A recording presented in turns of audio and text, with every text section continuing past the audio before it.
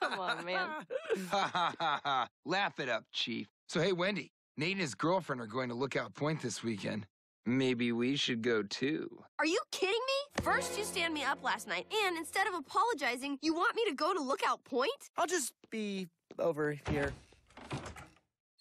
Look, Robbie, I'm not sure this relationship's working. Maybe I should see other people.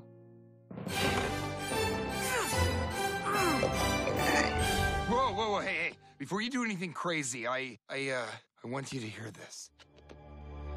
Hope this works. I wrote this song just for you.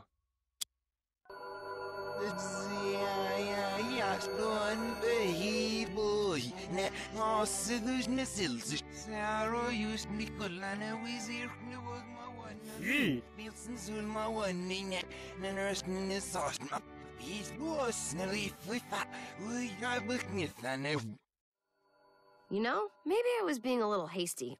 I'll give you another chance. Yes, all right. Mwah. Ready to go to Lookout Point? Huh, am I? Later, dorks. Catch you on the rewind. I made that up. I'll rewind your face! Wait a minute. Stan, rewind!